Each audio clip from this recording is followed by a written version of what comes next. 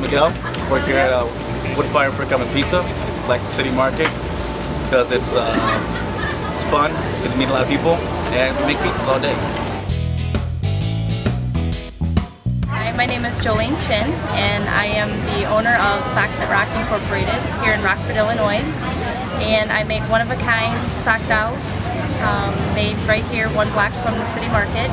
And I love the city market because of the diversity the vendors as well as the.